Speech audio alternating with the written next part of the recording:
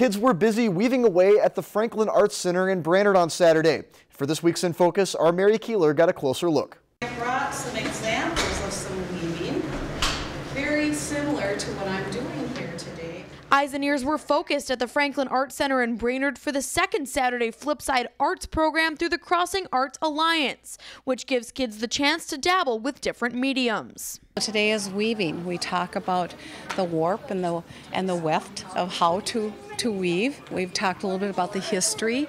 Alice Larson has been an instructor for three years, and the shine has not worn off yet. I enjoy um, seeing the creative works of art that the kids um, come up with. I didn't practice at home before, and I didn't do it before. I've been to other flip side classes. And they get free reign to use what they want to create. I've cleared And some buttons maybe? some buttons. I'm doing the style where it's kind of like this, kind of the checker thing. We have different mediums of uh, maybe we might use crayons, we might use paint.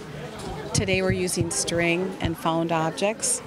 So it's fun to see the kids use the different art mediums and see the different um, outcomes from their creative endeavors. They teach kids the right techniques, but stress there is no right or wrong way to be artistic. We give them that direction and then we go and see how they creatively come up with the projects that we have set forth in front of them. Inspiring these kids to dream big. There's no rule against art at all.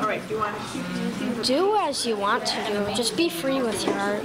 Showing that the sky truly is the limit when it comes to art. In Brainerd for this week's In Focus, Mary Keeler, Lakeland News. If you've enjoyed this segment of Lakeland News, please consider making a tax-deductible contribution to Lakeland Public Television.